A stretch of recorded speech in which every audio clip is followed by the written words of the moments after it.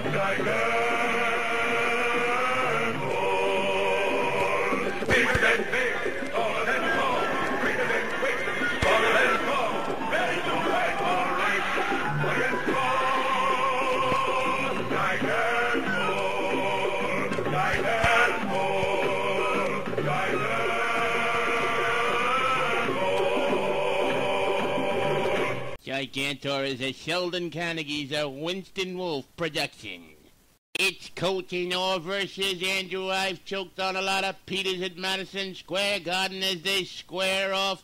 Peters lands one on Orr's back, two on Orr's back, then misses and slips. Orr now delivers two straight shots to Peters' cranium that doesn't stagger as they go into the dance to the dead and oh!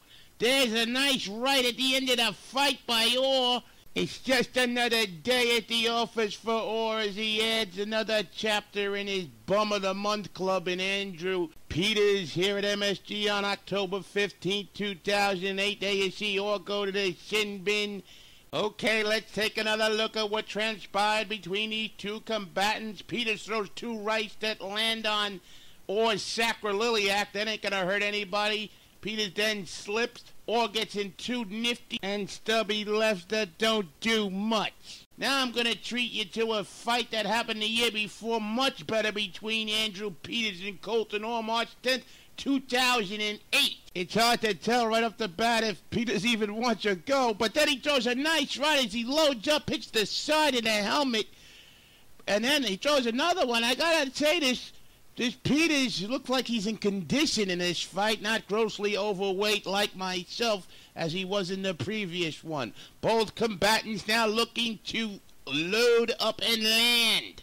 Let's see who gets the first bomb in or throws one, tries to go under, over, over, over, over, and he's pounding him into the ice. Holy Oh, manolis! Orr literally pounded him into the ice like a nail through a piece of balsa wood, and Orr is extremely jacked. Peters is complaining, pushing linesman. I have no idea what this tomato can is complaining about. Now some bonus footage from the same game, March 10, 2008. Watch Avery's hit.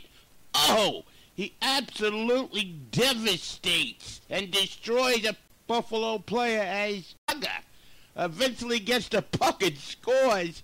This is a really nifty play, and this Nathan Paetsch of the Sabres just got pasted against the boards by Sean Avery.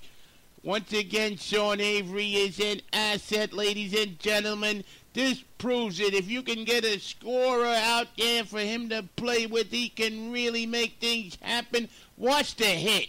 Boom! And it's Mommy Where's My Tricycle time for Nathan Paetsch. Let's take another look, hockey fans. There's the devastating hit. The puck will come out to Dubinsky.